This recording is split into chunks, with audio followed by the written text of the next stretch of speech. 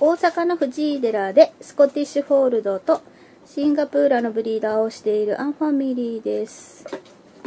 5月3日生まれのピンクちゃん。シフォンママと一緒にいます。ねまだまだ甘えてますね。でももうすぐお迎えです。ねえシフォン。かわい？いピンクちゃん。ね。